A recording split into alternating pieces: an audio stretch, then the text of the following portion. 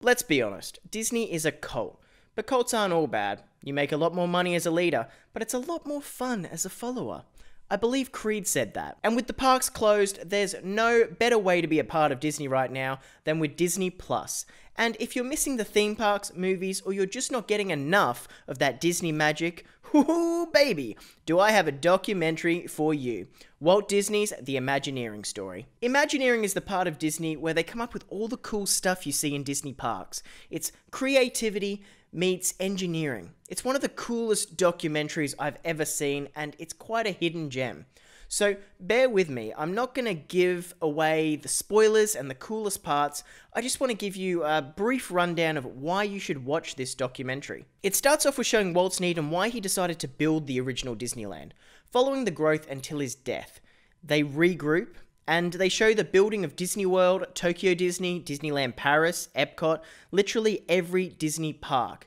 It shows the technological advances, the behind the scenes business deals, and the things they did right and wrong. They even showed how they made Disney cruises, and I found that really interesting. The footage is incredible. Going back to the early 50s, they pretty much filmed everything.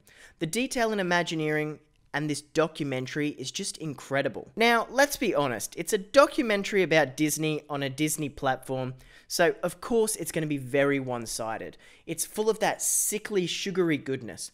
But they definitely show their faults, flaws, and they kind of admit that they have control issues. Just saying. I'm a big Marvel fan. I love Pixar, and Star Wars, and I love seeing how their content reflects them in their theme parks, and how much effort and detail is put into everything. Before this documentary, if I can be honest, I was naive. I genuinely thought that the movies there was like their power force. But it seems nowadays the movies, although delightful, you know how much I love their content, there there just seems to be, let's just say, a bigger plan in place. But now it's your turn. If you love Disney parks, I want to know. What's your favorite park?